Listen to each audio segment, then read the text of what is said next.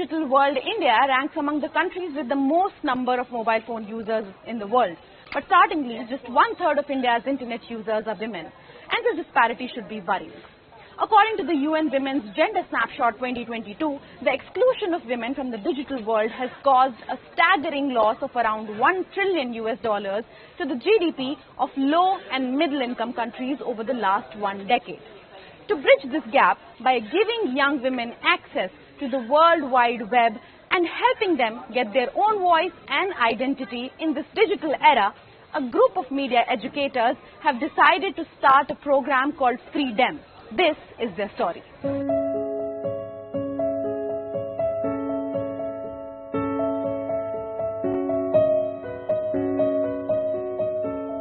मेरे को फोन चलाना पूरा नहीं आता इसलिए मुझे फोन चलाना भी सीखना है कि फ़ोन में पूरा देख सकूँ पेटीएम पे फ़ोन कुछ भी करना नहीं आता मुझे एनीथिंग उसमें। मैं टेंथ क्लास में पढ़ती हूँ और मुझे फ़ोन चलाना नहीं आता और मुझे उससे बहुत प्रॉब्लम होती है। मेरे घर में पाँच लोग हैं, पाँच में से सिर्फ़ मेरे पापा के पास फ़ोन था। तो जब मैं टेंथ क्लास में थी, मेरा बोर्ड था और घर में एक फ़ोन था जिससे मुझे दिक्कत हो रही थी, क्योंकि मेरी क्लास सारी ऑनलाइन चल रही थी और मेरा बोर्ड था।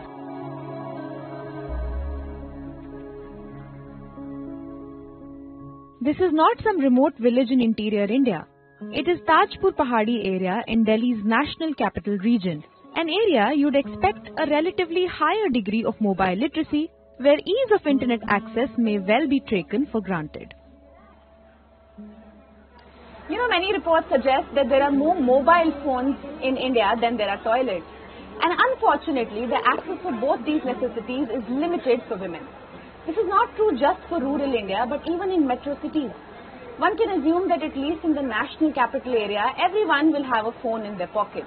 But the reality is that our country faces a huge gender-based digital divide, even as we harbor the dreams of digital India. This digital divide is a significant challenge for women's empowerment and gender equality, especially in the marginalized communities. India has over 1.2 billion mobile phone users, but when it comes to accessing a smartphone, many young girls and women are left behind. This disparity became stark during the COVID 19 pandemic when many girls and a large number of India's female workforce found themselves cut off information, often information that could save lives. Unable to attend schools, find work, and in some cases even avail basic amenities. Vibha, who studies in 10th standard and resides in an urban slum called Tajpur Pahadi, says her family only has one smartphone. And when it came to her online classes during the pandemic, she lost out. Even now, she's totally dependent on her brother for tasks that are now considered basic, like checking WhatsApp messages and sending emails. मैं tenth class में पढ़ती हूँ और मुझे phone चलाना नहीं आता और मुझे उससे बहुत प्रॉब्लम होती है और मेरी ऑनलाइन क्लासेस क्लासेस लगती हैं, उसमें भी मेरी बहुत परेशानी होती है। और जब मेरी मैम मुझे उधर से लिंक भेजती है उससे मैं चालू करती हूँ, उसमें भी बहुत प्रॉब्लम होती है। मेरे साथ के जो बच्चे जिन्हें फ़ोन चलाना आता है, वो सारे गूगल से मतलब आंसर लेके लिख लेते हैं और बाकी मेरे को नहीं आता। According to the Mobile Gender Gap Report 2023, the gender gap in mobile internet use in South Asia and across low and middle income nations overall is largely driven by India. This report also suggests that gender gap has been narrowing between 2018 to 20, but this trend reversed in 2021 and has largely stalled through 2022. Above the age of 18 years, 81% of men own a mobile phone against 72% women. But mobile internet awareness is at 72% among men and 58% in women, while mobile internet adoption is at 52% in men and 31% in women. Regular use defined as three distinct use cases per day stands at 42% among men and 25% among women. 10% of women do not use mobile internet or are unaware that such a thing exists. In addition, 48% of male mobile users in India have a smartphone, compared to just 29% of women.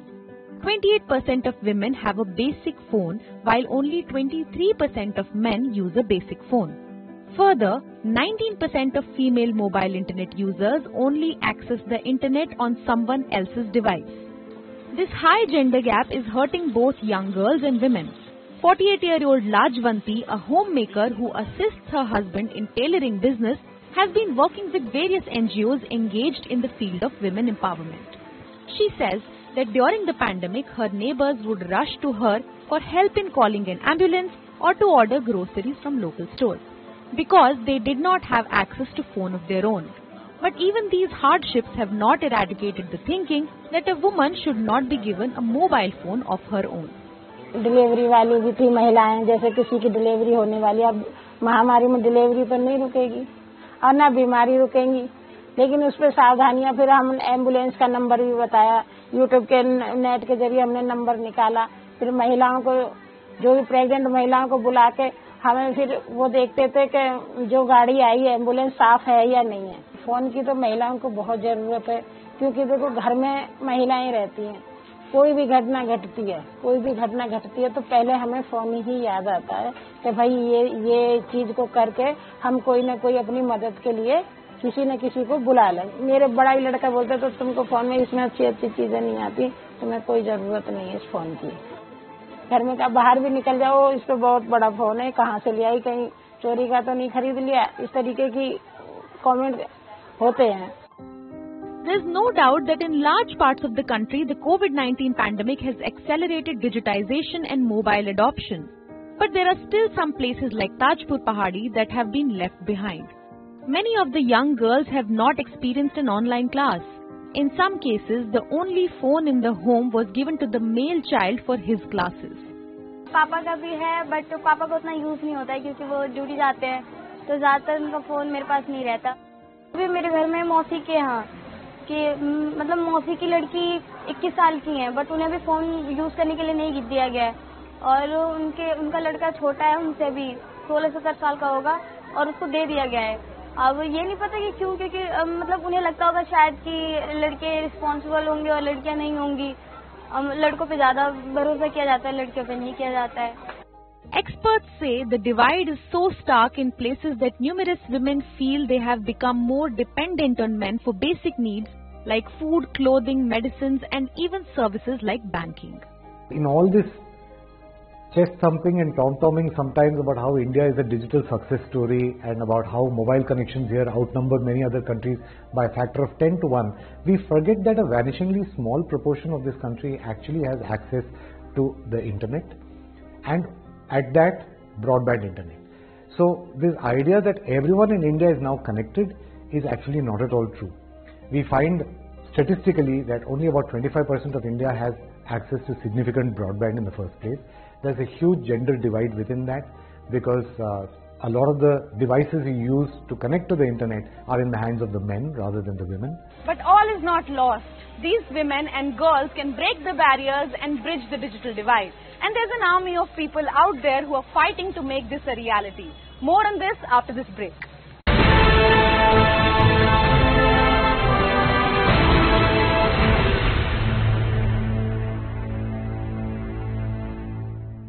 Welcome back to this special show on the Great Indian Digital Divide. According to Oxfam's Digital Divide India Inequality Report 2022, Indian women are 15% less likely to own a mobile phone and 33% less likely to use mobile internet services than men. The number may be disheartening, but the battle to correct this rages on. आज के मेरे show का नाम है मोहल्ले की बातें Young women in pockets like Tajpur Pahadi and urban slums slap bang in the national capital region are bridging the digital divide and breaking the glass ceiling through the creative expression.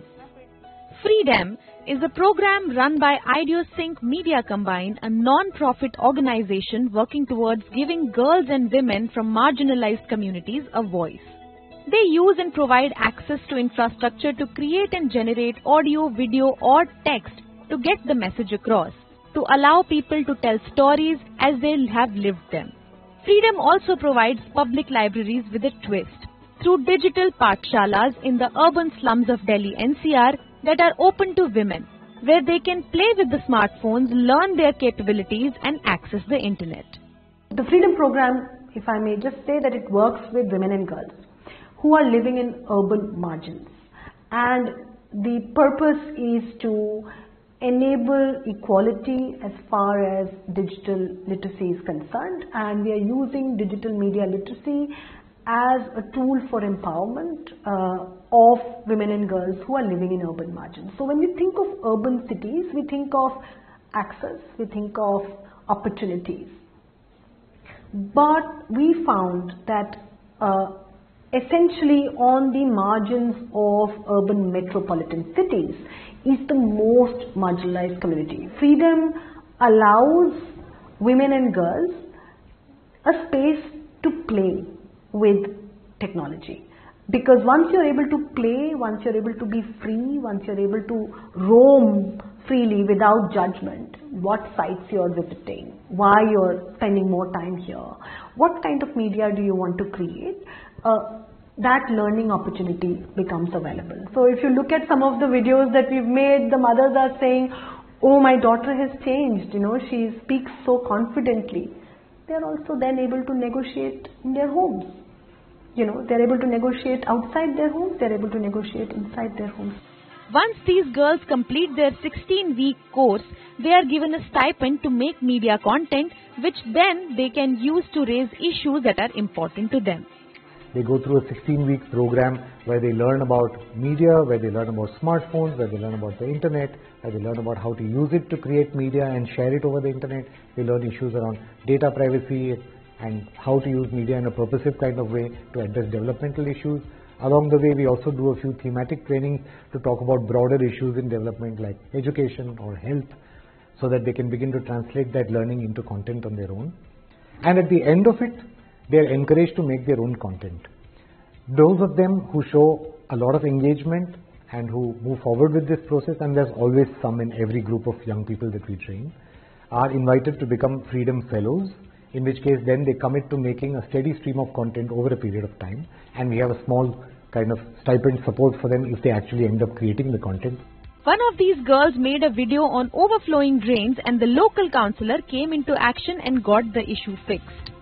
नमस्कार साथियों मेरा नाम हेमलता है मैं freedom सामुदायिक reporter हूँ हमारे समुदाय में यह दिक्कत हो रही है कि हमारे यहाँ की नालियाँ भर गई है जिससे हमें बहुत दिक्कतों का सामना करना पड़ रहा है। मेरी निगम पार्षद से यही प्रार्थना है कि जल्द से जल्द हमारी नालियों को साफ़ करवाया जाए। धन्यवाद। This girls from Tajpur Pahadi now run many podcast including मोहल्ले की बातें where they speak about the issues of their community also ज़्यादा बोलने वाली औरतें which shed light on the patriarchal practice in their own household और love is part of life जिसमें अपने मन की बात की फीलिंग शेयर कर सकते हैं। और ज़रूरी जानकारी जिसमें हम अपने एरिया के इम्पोर्टेंट इन्फॉर्मेशन के बारे में बताते हैं। और पब्लिक का शो जिसमें हम अपनी क्रिएटिविटी शेयर करते हैं। वन टू थ्री ज़्यादा बोलने वाली औरतें। आज़ाद love.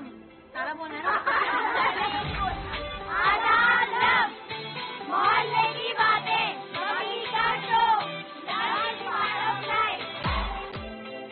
These podcasts and videos are not just another digital tool for these women, they are a medium that have empowered them and has a much deeper meaning in their lives. Like, बोलने की आजादी नजरिया हिम्मत आत्मविश्वास सबसे आगे होना it has given them an identity. मैं उन महिलाओं के आवाज हूँ जो अपने हित के बारे में या अपने किसी भी मुद्दों के बारे में कुछ भी नहीं बोल पाती उनके मुद्दों को मैं समाज के आगे बेखौफ उजागर करती हूँ इंस्पायर्ड entrepreneurial zeal.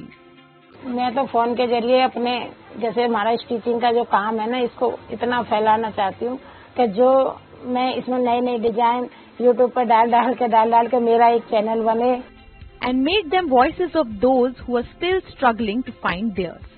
कई औरतें या लड़कियाँ घर में रहती हैं जिन्हें बाहर जाने की आज़ादी नहीं है तो वो अपनी अंदर की कोई भी फीलिंग है या जो वो मतलब दूसरों से नहीं बोल पाती हैं तो वो अपनी आवाज़ को ऑडियो या वीडियो से रिकॉर्ड करके डाल सकती हैं उससे।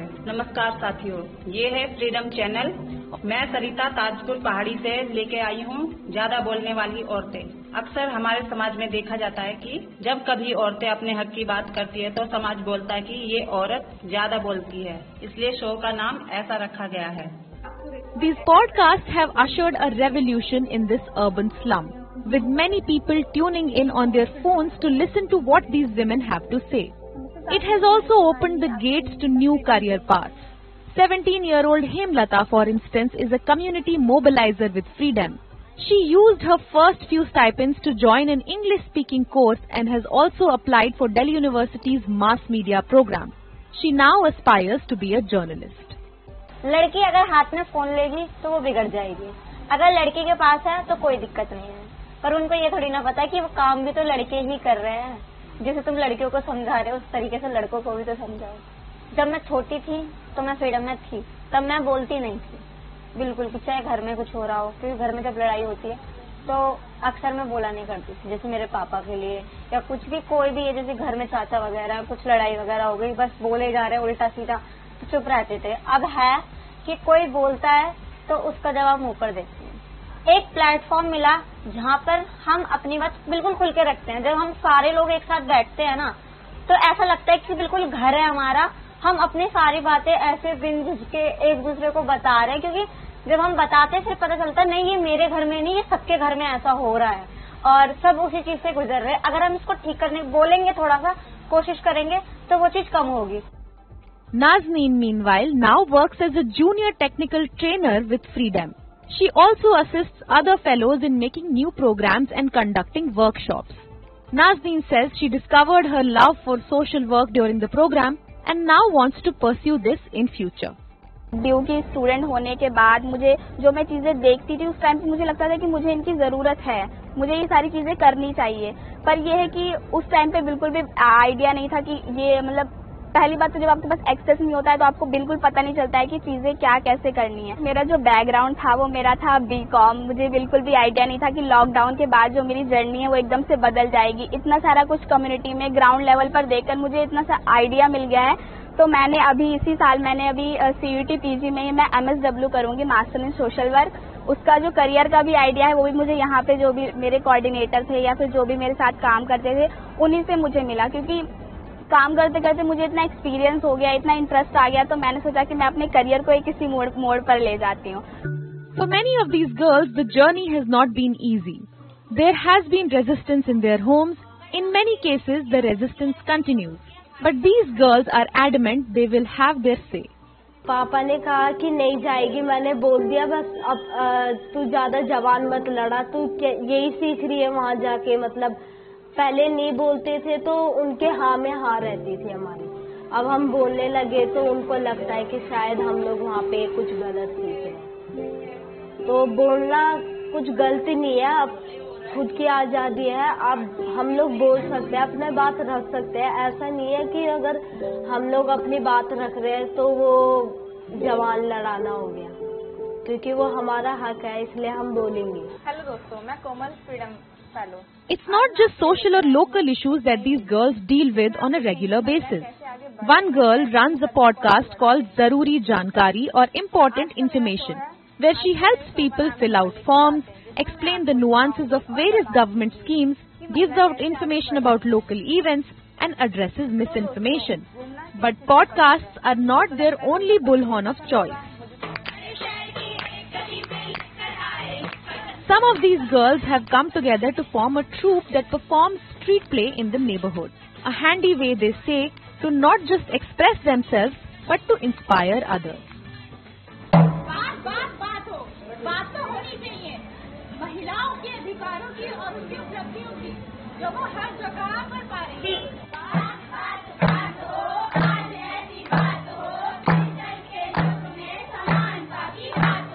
The change that these girls have brought not only to their own lives but to the community is remarkable. From overflowing drains to conversations about gender equality, it took just one podcast to start a community level conversation. We wish these girls all the best and hope that this digital revolution is not restricted just to the urban slums of the National Capital Region. That brings us to the end of this special show. Thank you for watching.